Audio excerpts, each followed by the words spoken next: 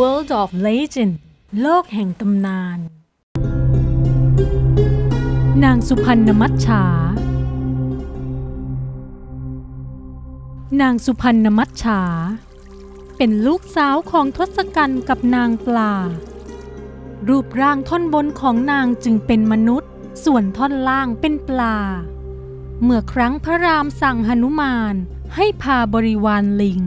ขนหินมาถมมหาสมุทรเพื่อทำถนนข้ามไปยังกรุงลงกา ทศกัณฐ์สั่งให้นางสุพรรณมัจฉากับพวกปลาทั้งหลาย ช่วยกันขนหินไปทิ้งหนุมานมีความสงสัยจึงดำน้ำลงไปดู ได้พบกับนางสุพรรณมัจฉาทั้งสองมีความรักต่อกัน นางจึงยอมเป็นภรรยาของหนุมาน และมีบุตรคือมัจฉานุ อย่าลืมกด subscribe ติดตามช่อง World of Legend โลกแห่งตำนาน จะได้ไม่พลาดคลิปสนุกๆ จากเรานะคะ